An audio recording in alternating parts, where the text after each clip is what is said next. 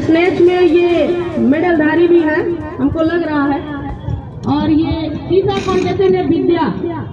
एक तस्वीर हम फिर आपको दिखला रहे हैं। आरा का जो ऐतिहासिक चर्च है वहाँ के जो मैदान है वहाँ से ये तस्वीर हम आपको दिखला रहे हैं जहाँ पर तरह तरह के खेल नहीं है। प्रतियोगिता आयोजित की गई है जहाँ पर वेट लिफ्टिंग है हो कबड्डी हो फुटबॉल हो हॉकी हो कबड्डी चल रहा है जो है। खेले हैं वो पहली बार आरा में वेट लिफ्टिंग का सेकंड बार हो रहा है डिस्ट्रिक्ट भी हो चुका है। और ये जन स्वराज की तरफ़ से ये पहली बार यहाँ वेट लिफ्टिंग का भी मैच मैच हम्म, हम्म, हम्म। नाम हम कहाँ बहुत बढ़िया बहुत बढ़िया बहुत बढ़िया। ठीक है ठीक ठीक। फ़िज़िकल एकेडमी के द्वारा। नेक्स्ट वेट थोड़ा सा वेट में बताइए क्या 15 क्या केजी फ़िज़िकल एकेडमी के द्वारा क्या क्या आप लोग कर रहे हैं आज के इसे मेरे यहाँ सबसे पहले सिखाया जाता था लड़कों को जो बहाली बहुत बढ़िया, बहुत बढ़िया। या कोई भी बहुत बढ़िया उनका तैयारी। और अभी छोटे छोटे बच्चों को स्पोर्ट्स में जागृत करने के लिए मेरे यहाँ कबड्डी बॉक्सिंग और वेट लिफ्टिंग जो काफ़ी छोटे छोटे बच्चे हम लोग ट्रेन के तौर बहुत बढ़िया कर रहे हैं और उम्मीद कर रहे हैं भोजपुर से बढ़िया राउंड- और यहाँ से हम नेशनल और ओलंपिक ये जो वेट लिफ्टिंग है ये बच्चे जितने ये खेल हो रहे हैं वेट लिफ्टिंग है कबड्डी है बॉक्सिंग है ये बच्चे कहाँ के हैं ये ये बताइए बच्चे लोकल भोजपुर के। भोजपुर के यानी आप फ़िज़िकल एकेडमी के द्वारा इनके प्रशिक्षण दे रहे हैं। जी प्रशिक्षण में बच्चे जो हैं। आ रहे हैं कि कि आ रहे से बाहर के भी हैं? समर और रंजन के बड़हारा प्रखंड के हैं कुछ लोग। यानी जो बच्चे इस कंपटीशन में आते हैं भाग लेते हैं यदि कुछ अच्छा करते तो उन्हें आगे का क्या हैं, है, बच्चा और हम लोग अपने अभी दिव्या ने बहुत बढ़िया किया। सब लोग मेंटेन करता है। अभी बाहर विद्या ने बहुत ही बढ़िया तो अभी प्रयास वेट लिफ्टिंग में अपना दे रहे हैं बहुत बढ़िया किया। बहुत बढ़िया बहुत बढ़िया। ये ज़रूर करेंगे कि हमारे बच्चों को फैसिलिटी दिया जाए। यहाँ का कुश्ती का जो गेम था काफ़ी हम लोग का जेनेटिक में तो आज कुश्ती दब चुका है। सारा फैसिलिटी रहे क्योंकि वो मैदान ही नहीं मिल रहा है। बॉक्सिंग नीचे आज जबकि हमारे यहाँ भोजपुर का जेनेटिक इतना पावरफुल था। बॉक्सिंग के। बच्चे बाहर जाते थे तो हॉर्स पावर। संजना ने दूसरा भी सारे गेम क्लियर किया किया। और पता नहीं मतलब कुछ हम लोग का कमी है हो, 20 या kg। वाले की कमी हो कि आज ये गेम और इधर इधर बॉक्सिंग का फाइट लड़कियों का भी स्टार्ट हो गया है। ऊपर ले जाए और सबसे बड़ा फैसला ये हम लोग का कि नशा मुक्त भोजपुर बनाना है। अगर बच्चे स्पोर्ट्स में जुड़ेंगे तो अपना स्ट्रेंथ को जानेंगे पहचानेंगे और नशा से दूर रहेंगे। कुछ खेलों के बारे में बताइए कुछ क्योंकि उतना तो हमें जानकारी नहीं। जैसे ये बॉक्सिंग चल रहा है। ये बॉक्सिंग चल रहा है और इनका कोच रमेश जी। रमेश जी कहाँ हैं? रमेश इसमें कुछ एज निर्धारित होगा ना कितने एज से कितने ये देखिए ये रमेश जी यूपी के रहने वाले हैं। जी। और यहाँ सबलपुर बढ़ारा प्रखंड में आज नेक्स्ट कंटेस्टेंट और बेचारे अपने पॉकेट से ये सब छोटे छोटे बच्चों को सारे फैसिलिटी और इनका एक बच्चा भी मेडल है। नेशनल खेल के आया है नेशनल खेल है। और ये बच्चों को देख लीजिए उलिया ये लोग इतने असहाय है कि ये अपना ग्लव तक नहीं मेंटेन कर पा रहे हैं।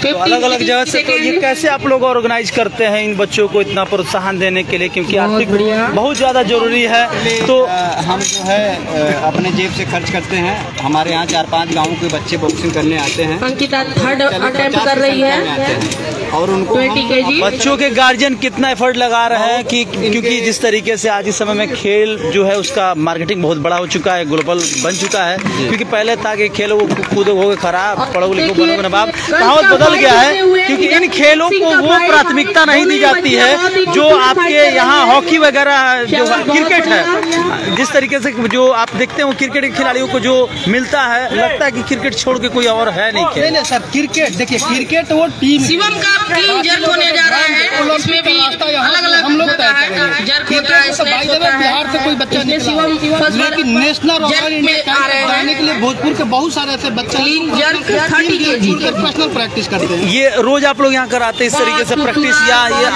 सबलपुर अच्छा। देखिए ये जर्क मार दी। अरे मैं कितने मतलब कि ये अब तो समर वेकेशन का समय भी आएगा गर्मी का समय भी आ रहा है। तो उसमें क्या क्या आप लोग कर अभी समर वेकेशन का हम लोग प्लान किया है कि देखिए बहुत सारे शहर में सबसे दूसरा ड्यूटी में रहते हैं कोई नौकरी। करते बच्चे ग्राउंड तक नहीं आ पा रहे हैं। गार्जियन का बहुत बड़ा ये प्रॉब्लम है कि बच्चों को ग्राउंड तक इसकी फैसिलिटी हम अवेलेबल कराएँगे गर्मी में समर कैंप लगाएँगे बहुत। और उसके बाद सारे बच्चों को गाड़ी मुहैया कराएँगे कि डोर टू डोर ले आकर कितने बजे से कितने बजे आप लोग इन बच्चों को ये ट्रेनिंग देते हैं? बहुत से आठ बजे तक और शाम को चार बजे से छह बजे तक। तो देख सकते हैं कि यहाँ पर सुरक्षा दृष्टिकोण से क्या व्यवस्था रखते हैं आप लोग जो बॉक्सिंग जो बचिया कर रही हैं उनके लिए सुरक्षा गार्ड वगैरह। ये गार्ड होता है टीथ गार्ड होता है और थोड़ा बहुत जो भी हम लोग से हो सकता है वो अभी तो बहुत देखिए यहाँ देख सकते हैं बहुत बढ़िया बहुत बढ़िया शिवम। निकाल कर जिस तरीके से आपने बहुत देखा होगा खूबसूरत ब्लड उलड आता तो उस तरीके से। देखिए अपने सहयोगी खिलाड़ी को सहयोग करते पहला और देखिए दूसरा और ये थोड़ा सा यहाँ भी इसके बारे में बताइए वेट लिफ्टिंग के लिए। थोड़ा सा इनके बारे में आप कुछ बताइए। आप कुछ बोलिए कुछ बताइए ज़ोर से थोड़ा सा क्योंकि मैं रमेश यादव शारीरिक अ, शिक्षक अनुदेशक हूँ। जी। और बिहार सरकार में हम नियुक्त हैं।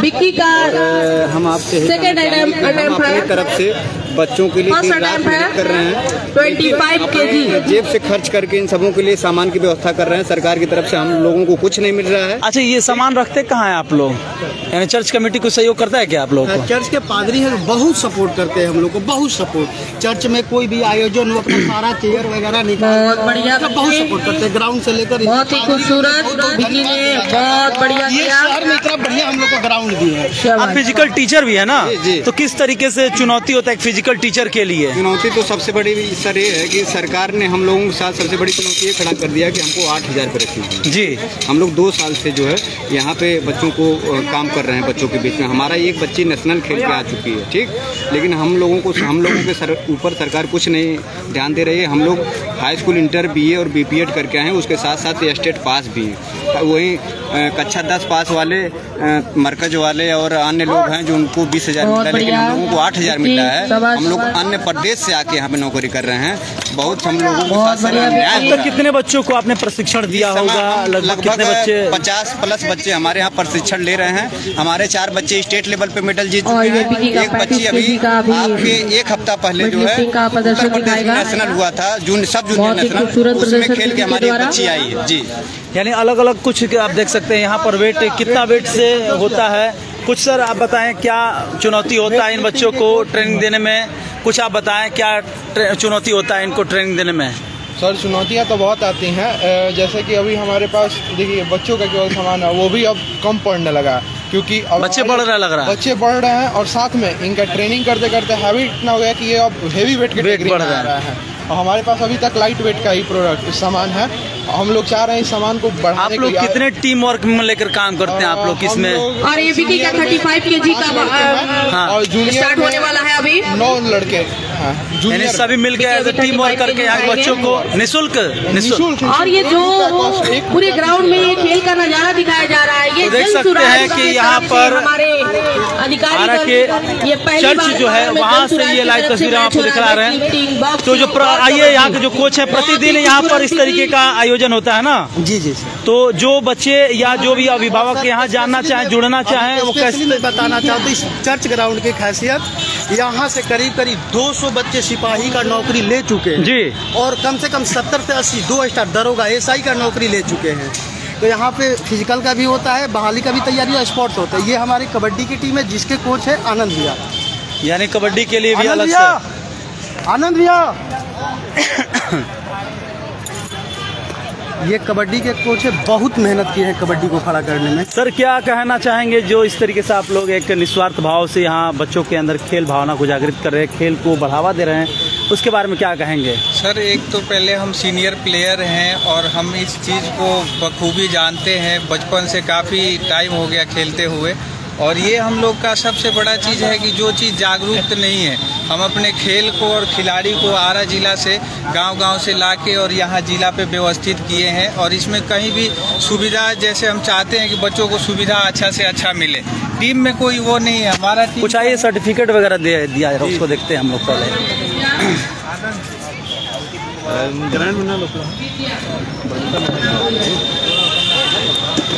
పొలాన్ని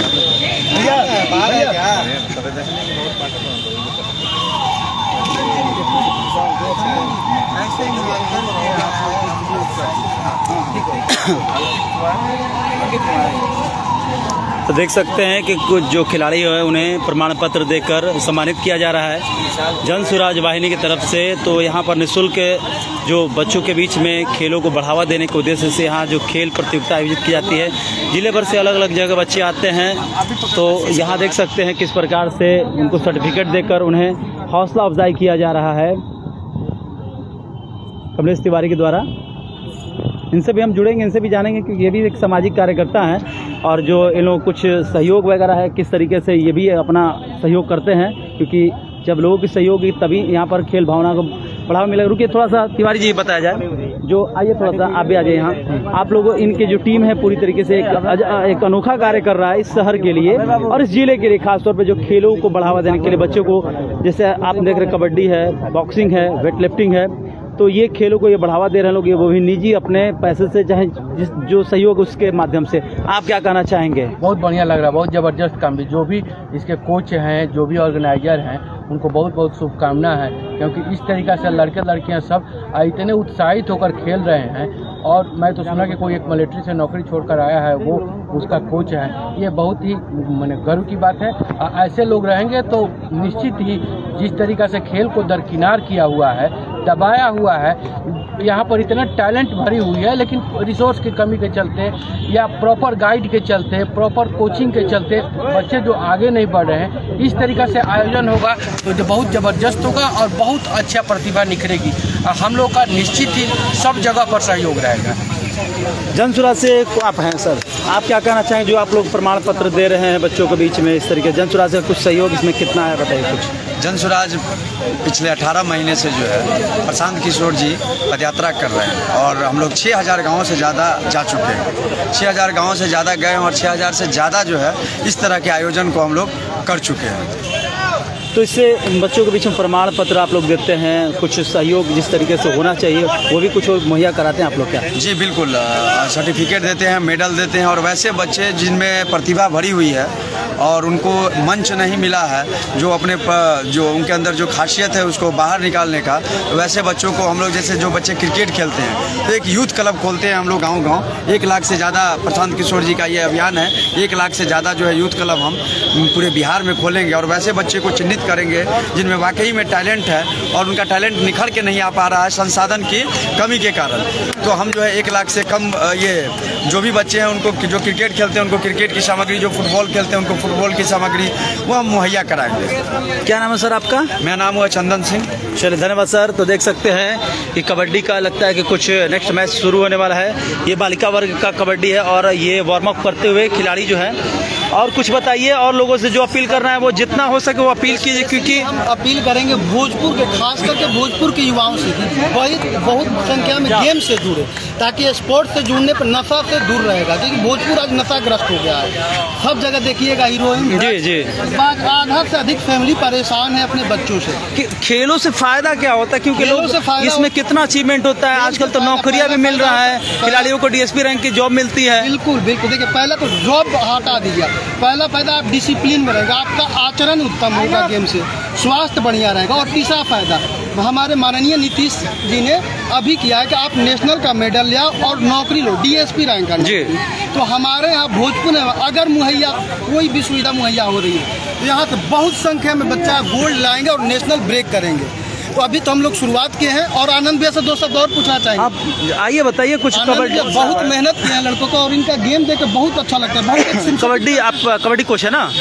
किस तरीके से क्योंकि ये हमारा तो राष्ट्रीय खेल है बिहार का तो ये बहुत जाना पहचाना खेल है।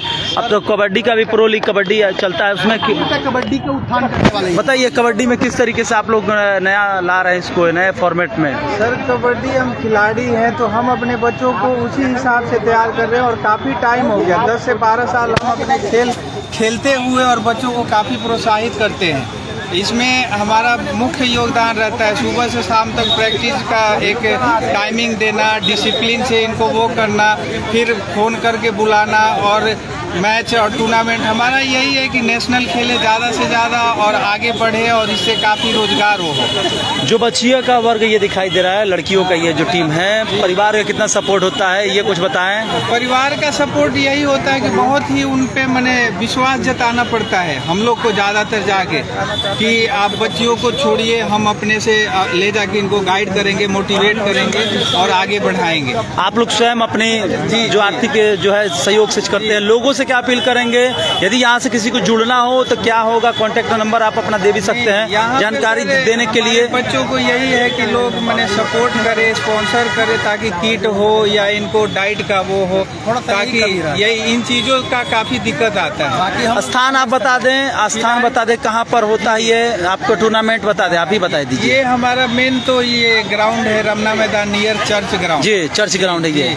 और एक खेल भवन है जो कतिरा के पास है। जी।